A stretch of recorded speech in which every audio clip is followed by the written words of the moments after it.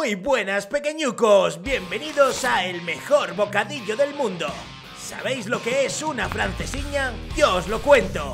Es una salsa melosa, densa y sabrosa en la que te bañarías si no estuviese ardiendo. Es literalmente una armadura de queso fundido que envuelve nuestro bocadillo de hoy. Es sensualidad, es desproporcionado, ostentoso y muy, muy abundante. Todo eso y mucho más es una francesiña, un bocadillo de tamaño Godzilla que proviene de Portugal y que tiene su versión más famosa en Oporto. Apunta bien los ingredientes y prepárate para conocer una de las recetas más populares de la gastronomía callejera de Portugal. ¡Comenzamos! ¡Extra, extra! ¡El! Nuevas pistas sobre el paradero del mejor bocadillo del mundo.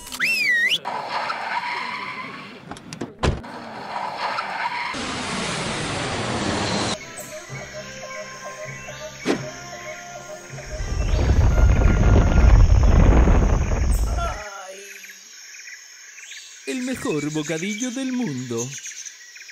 Todo empieza por la mantequilla, dorada y sabrosa mantequilla, porque el secreto de una francesiña de Oporto está en los detalles y en la salsa, amigos míos. En realidad voy a utilizar 50% mantequilla y 50% aceite de oliva para conseguir un sabor más complejo y una consistencia más densa. Una vez la mantequilla se haya derretido y sin dejar que se vuelva marrón, añade los ajos. No importa cómo los cortes porque después los vamos a triturar. Poco a poco los vas a ir dorando y cuando estén habrá llegado la hora de poner la cebolla dentro de la sartén muy cebolla y mucho cebolla. Tu misión es conseguir que hasta la última molécula de cebolla se mezcle con el aceite para conseguir un pochado perfecto. La francesiña es especial, tan especial que se utiliza bacon para dar sabor a la salsa. ¿A quién le importan las calorías? Si te vas a comer una francesiña, hazlo bien como lo hacen en Oporto. Dos trozacos de bacon o tocino ahumado y a vivir. Un poquito de sal, aunque tampoco mucha porque el bacon suele ser salado, dos hojas de laurel para añadir sabor. Y cocina hasta que la cebolla empiece a pocharse y tenga un color dorado como el sol de la mañana. Cuando esté, añade el vino blanco y mézclalo bien. Dos minutos después añade el caldo de carne, una cucharadita de mostaza, os recomiendo que sea mostaza de Dijon, aunque podéis utilizar incluso mostaza dulce si así os lo pide vuestro cuerpecito serrano, el tomate triturado o tomate frito en su defecto, y lo tradicional es que nuestra francesiña pique un poco. El piripiri, aunque tenga nombre de droga moderna fabricada por jamaicanos, es un picante suave con un sabor elegante y la opción más utilizada. Puedes utilizar cualquier otro picante. Sin duda, amigo o amiga mía, siéntete libre en tu búsqueda del picante sagrado. Remueve de nuevo para que se integren todos los ingredientes y los sabores se abracen con amor y respeto y deja que se cocine durante unos 5 minutos a fuego medio o hasta que notes que la cebolla está en su punto. ¿Ves la pinta que tiene esto de querer bucear dentro con la boca abierta? Pues aún no es nuestra salsa, solo el comienzo de algo maravilloso. Quita el bacon y el laurel y mete el resto en un vaso batidor para darle un montón de ñi conseguir esta salsa fina y suave que vas a añadir de nuevo a una sartén limpia. Añade también el brandy, aumentador de sabor supremo. El vino de Oporto con su toque dulce y sabroso. El vino de Oporto tiene un sabor muy especial y por lo tanto si lo quitas de la receta el resultado cambiará. ¿Eso quiere decir que sin vino de Oporto no puedes hacer la receta? No, aunque no es lo mismo, podéis utilizar cualquier vino dulce que tengáis a mano. También os digo que no es nada difícil de encontrar en supermercados. Y una lata de cerveza de la marca que prefieras.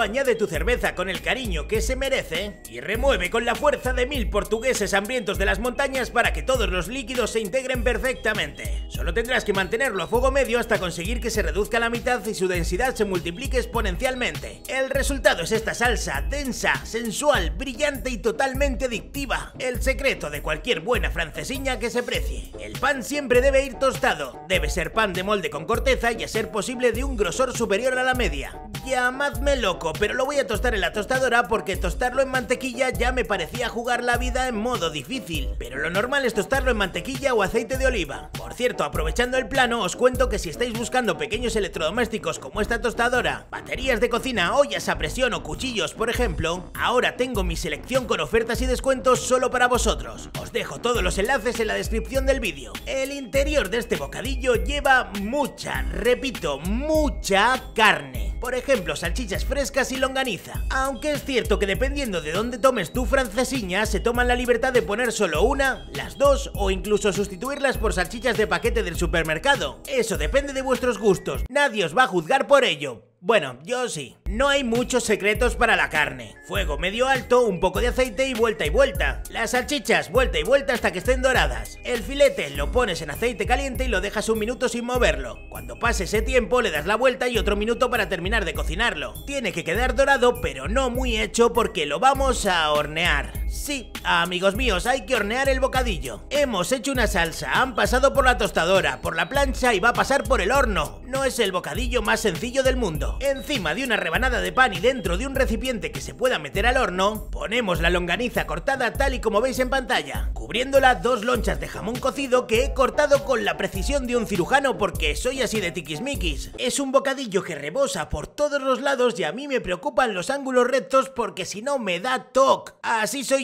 coronando una loncha de queso que se derretirá y llenará de alegría y sensualidad el interior del bocadillo. La segunda capa empieza exactamente igual pero con las salchichas. Una capa de salchichas para gobernarlas a todas. Encima el filete, también cortadito para que mi cerebro no implosione. Y por qué no, mortadela italiana. Y no le metieron dentro un cordero vivo porque seguramente no tenían uno a mano. Justo encima más queso, mucho queso, todo el queso del mundo. Primero aplasta ligeramente el bocata para que el contenido quede compacto y después cubre completamente el exterior con lonchas de queso. De 5 a 7 lonchas de queso estratégicamente colocadas para que cuando se funda no se vea ni una sola molécula de pan y el resultado parezca un cubo gigante de queso.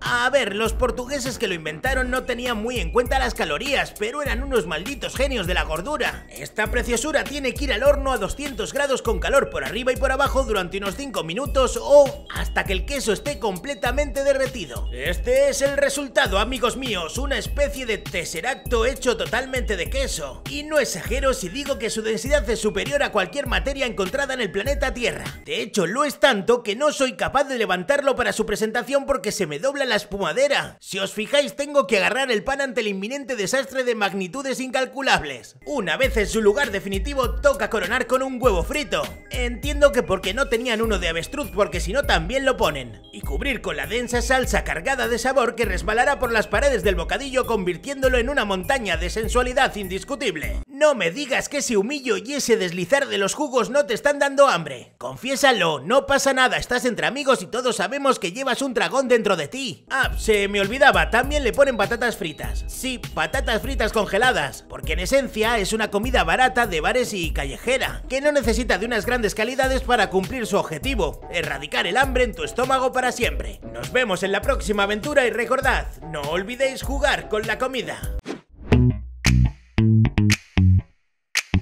and